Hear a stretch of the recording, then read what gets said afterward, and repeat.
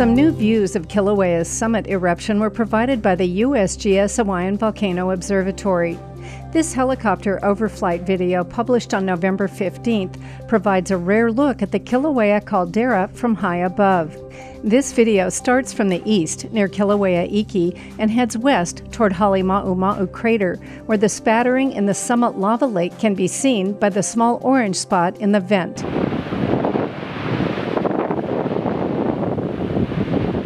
This November 20th video taken by scientists gives us a closer look.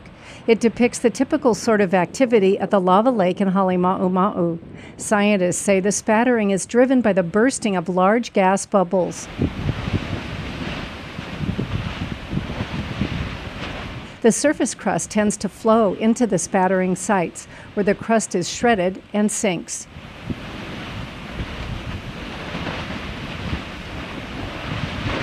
Of course, the big volcano video from USGS was published in October.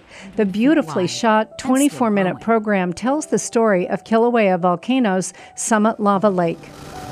Today, the lava lake at the summit of Kilauea is one of two ongoing eruptions at the volcano.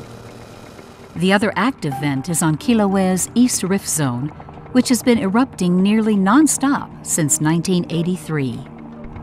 This is not the first time two vents have erupted on Kilauea at the same time. But the duration of these two active vents is unmatched in recorded history. Since 1983, the ongoing East Rift Zone eruption has covered more than 54 square miles with lava flows and has destroyed more than 200 structures, including scores of homes. The continuous monitoring of Hawaiian volcanoes that was begun by Jaggar in 1912 continues today.